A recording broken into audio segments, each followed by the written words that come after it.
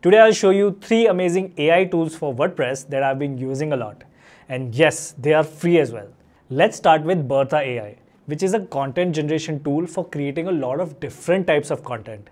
Its USP is super simple UI, lots of features, and that you can use it directly from inside WordPress instead of having to go back and forth between different windows. Alright, our next tool is super exciting.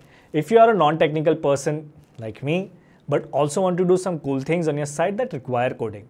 Because in CodeWP, you can just type what you want to achieve and it will create the code snippet for you that can easily and safely be used. Now, our last AI plugin for WordPress is the best AI chatbot I've ever seen.